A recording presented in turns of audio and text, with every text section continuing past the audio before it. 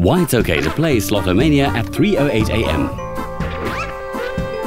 Well, first of all, it's always okay to play Slotomania. But it's 3.08 a.m. You may be thinking of going to sleep and plunging into a sweet, sweet dream. Well, you can forget that if you're a snorer. Science says you can't snore and dream at the same time. So forget going to bed. You can dream with your eyes open by playing a game of Slotomania. Yes, whatever you're doing, 3.08 a.m. is definitely the time for some me time. That's right. Start playing Slotomania now. Slotomania. It's okay to play.